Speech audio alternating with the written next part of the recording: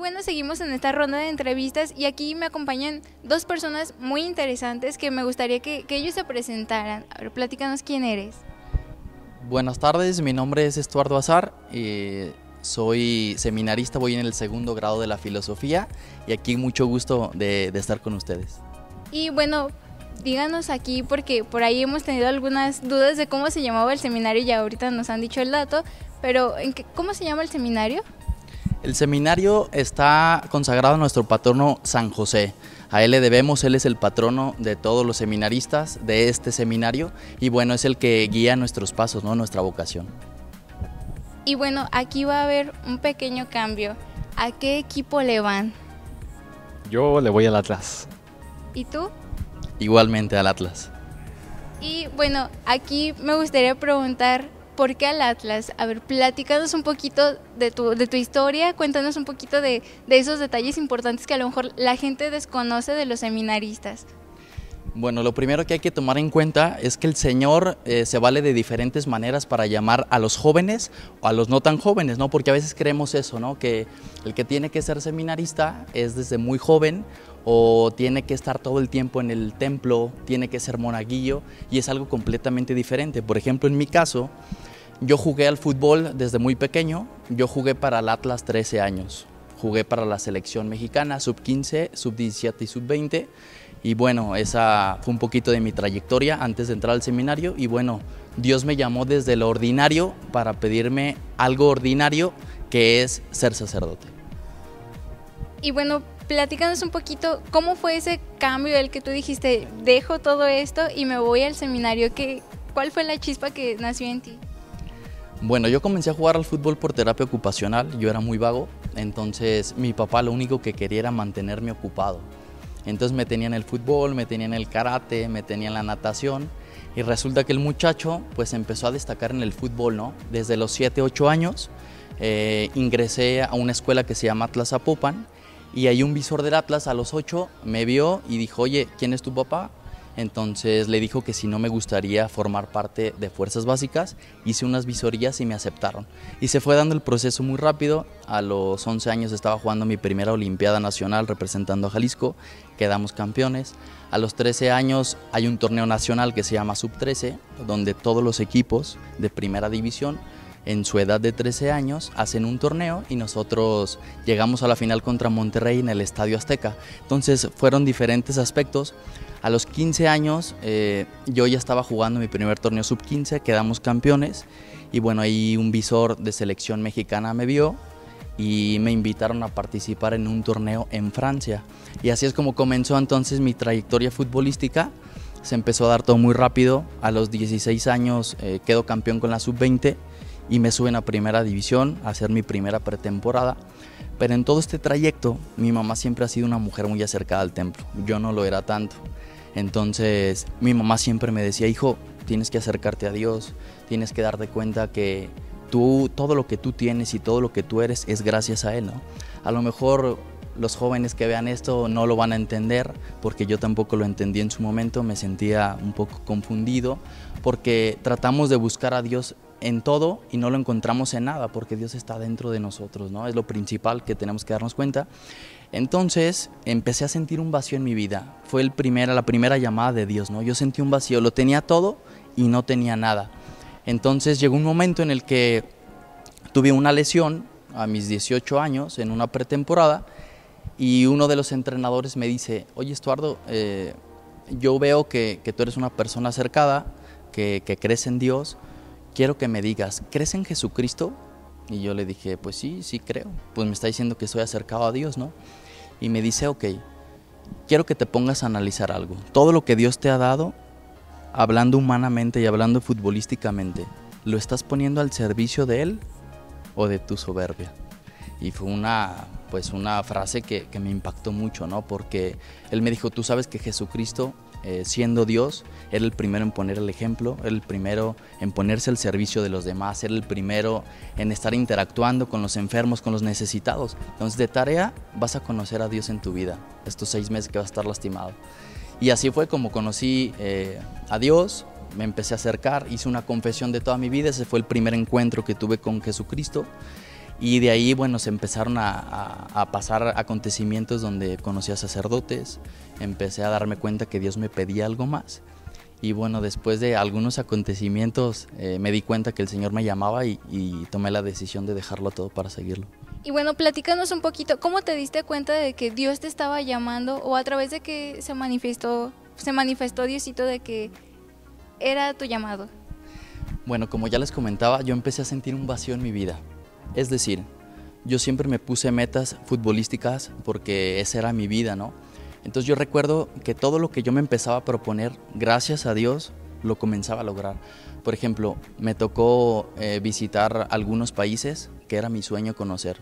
Entonces llegaba el momento en el que yo viajaba, jugaba los torneos internacionales y después me sentía vacío. O por ejemplo ponía metas a corto plazo, campeonatos, eh, entrenar con el primer equipo, ciertas cosas. Iban sucediendo y entonces yo empezaba a sentir un vacío en mi vida. Hasta que llegó un momento en el que yo decía, bueno, ¿cómo es posible que si lo tengo todo, no me siento pleno? Y ahí fue donde conocí a un sacerdote que se llama el padre Elías Morales, que actualmente está en la parroquia María la Virgen Fiel. Y él me dijo, eh, mira Estuardo, te voy a decir qué es lo que te está sucediendo.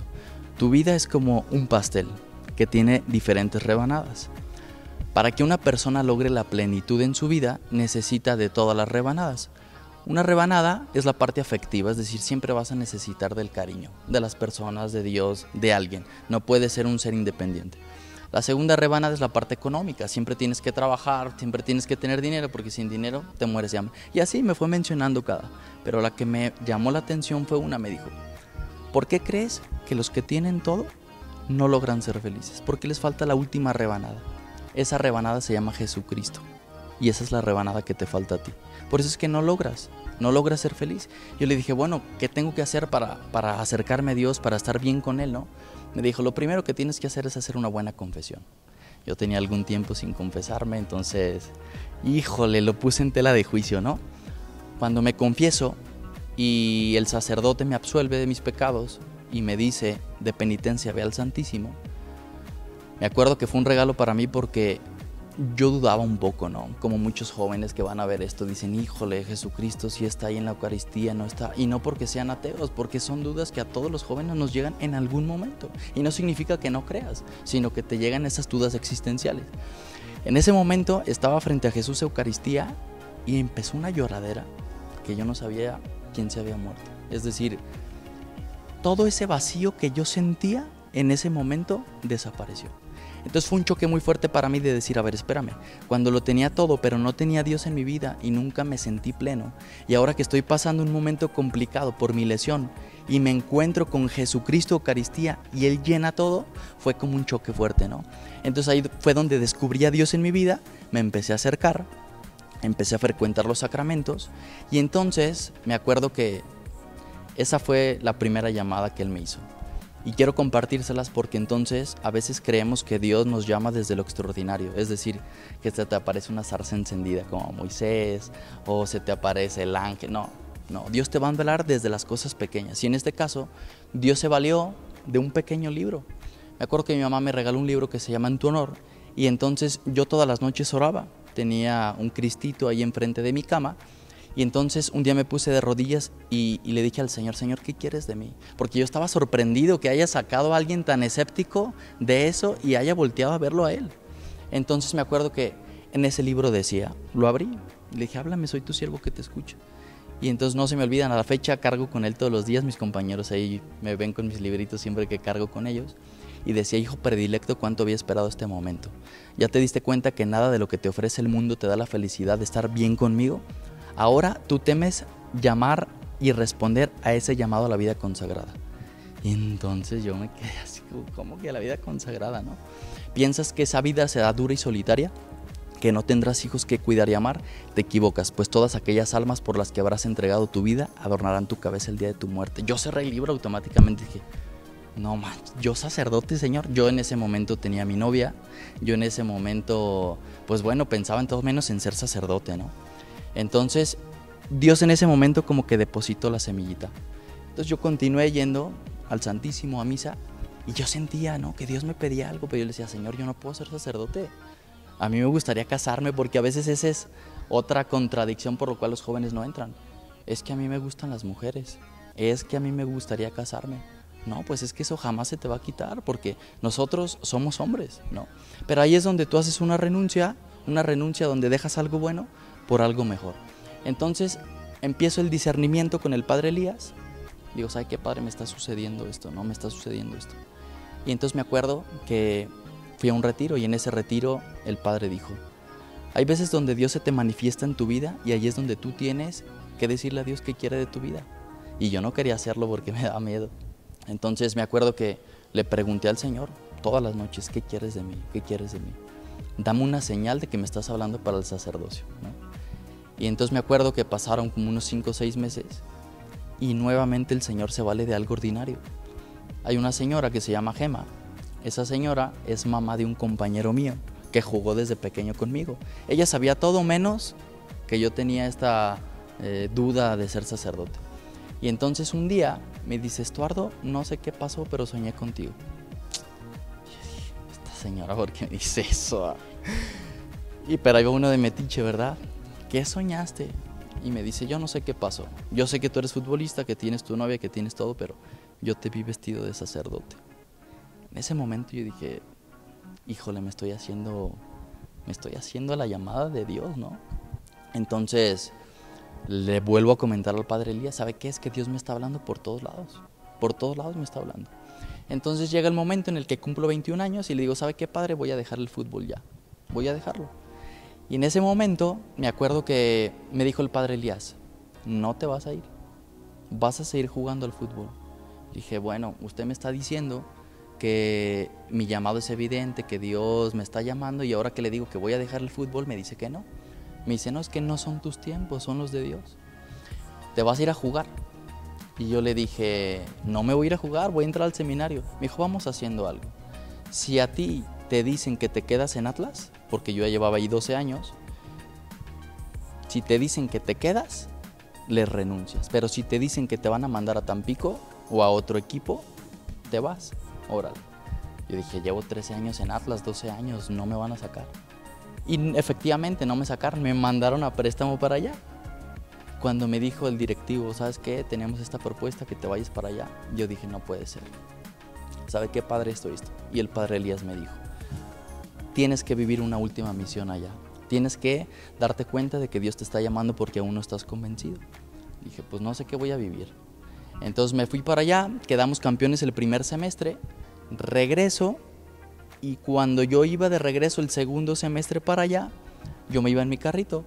Y entonces, faltando una hora y media para llegar a Tamaulipas, porque jugaba allá en Tampico Madero, me acuerdo que había un carro enfrente de mí, iba en la carretera, entonces el carro se frena. Y a la hora de que se frena, me freno yo también, pero como iba un poquito rapidito, las llantas se me patinan. Entonces me iba a estampar contra el carro y por no estampar me doy el volantazo y al dar el volantazo, pues era un Sparkle que yo traía, se levantan las dos llantas y me salgo de la carretera. Me acuerdo que en ese momento yo dije, ya vale, iba con otro compañero que se llama Pepe y me acuerdo que me iba, me iba a estampar contra un árbol. Y cuando me iba a estampar yo dije, hasta aquí llegué. Y entonces en ese momento me acuerdo que lo único que dije fue, Diosito, ayúdame. Apreté el volante y cuando lo aprieto, choco contra el árbol, el carro pérdida total pérdida total. Y entonces nos atoramos, se zafó el volante, se zafó todo y yo no tenía más que una cortada aquí. No me iba a pasar absolutamente nada. Dije, no puede ser. Me sacan del carro porque se atoró, me sacaron por la ventana, mi compañero también, todo bien, no nos pasó nada. Y entonces el de la ambulancia llega y me dice, joven, Dios lo ama, porque con menos que usted la gente se muere. Yo estaba impactado, ¿no? Después me comunico con el padre, le digo, padre, choqué y me dice, ¿ya te diste cuenta que la vida es de Cristo? ¿Ya te diste cuenta que Él decide quién vive y quién muere? Tú a partir de hoy deberías de estar muerto. Y Dios te da una segunda oportunidad y es porque tiene una misión para ti. En ese momento dije, ¿sabes qué? Ingreso al seminario. Termina el segundo semestre y me iban a renovar el contrato, ¿sabes qué? Vente. Dije, ¿sabes qué? Hasta aquí. Me dijeron que mi papá se puso muy triste porque él me apoyó durante toda mi carrera y me dijo, ¿sabes cuántos quisieran llegar a donde tú estás? ¿sabes cuántos trabajan para eso y tú lo estás dejando? Y yo decía, sí. ¿Sabías que la vida no da segundas oportunidades? Y yo sí. Entonces, ¿qué pasa? ¿Qué pasa? Y yo le dije, es que hay algo más grande. Cuando Dios entra en tu vida y le da un sentido, ya lo demás no importa. Y es lo que yo le quiero invitar a estos jóvenes, ¿no? Que, nos demos cuenta que ni el dinero, ni viajar por el mundo, ni tener a la mujer que tú quieras, nada te va a dar la felicidad de hacer la voluntad de Dios. Nada. Y el día de hoy, como ya comentaban anteriormente compañeros, sí va a haber dudas, sí va a haber crisis, sí va a haber momentos de, tristeza, momentos de que, híjole, la gente me pregunta, oye, Estuardo, ¿no extrañas el fútbol? En la parte humana, claro que sí, porque es normal. Pero ahí es donde te das cuenta que lo externo es pasajero, lo externo se va. Y lo interno, lo que Dios te hace sentir en tu corazón de estar haciendo la voluntad de Él, eso no me lo quita nadie y por eso es que estoy aquí. Bueno amigos, antes de terminar esta transmisión, me gustaría que por aquí nos compartieras la frase que tanto nos has mencionado últimamente. Sí. Bueno, un padre nos decía, ¿no? Porque a lo mejor tú joven que estás viendo este video o que nos estás siguiendo por las redes sociales, no quieres seguir al Señor porque tienes miedo, porque no te sientes apto. Y un día un padre nos dijo, mientras menos te sientas apto para seguir a Dios, mientras menos, eh, menos cualidades tengas, mientras menos capacidades tengas, más cumples las expectativas para llenarlo. Es decir, Dios es el que va a hacer el camino, Dios es el que te va a llevar de la mano. Cuando Jesucristo nos dice, sígueme, es detrás de Él. Es Él quien va a llevarnos de su mano y es Él quien va a llevar esta obra del ministerio del sacerdocio. Ningún hombre estamos capacitados para algo tan grande. Es Él quien te va a ayudar y es Él hay una frase que un padre me dijo cuando yo entré, el que invita paga. Y hasta ahora no se ha dejado de cumplir en todos los aspectos. Si Él te está llamando, Él te va a ayudar. Y bueno, esto, con este llamado a, pues a dar el sí continuamente al Señor, nos despedimos, estuvimos aquí en el Seminario Mayor de Guadalajara y con ustedes estuvo su servidora Dulce Teresita. Nos vemos hasta la próxima.